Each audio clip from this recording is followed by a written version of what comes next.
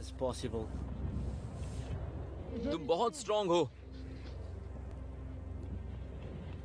अब तुम घर जा रहे हो।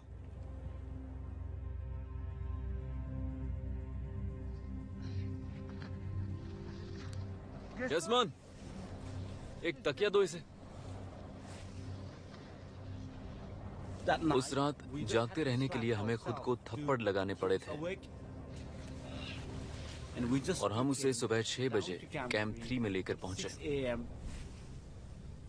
Only हेलीकॉप्टर के आने से बस पाँच मिनट पहले।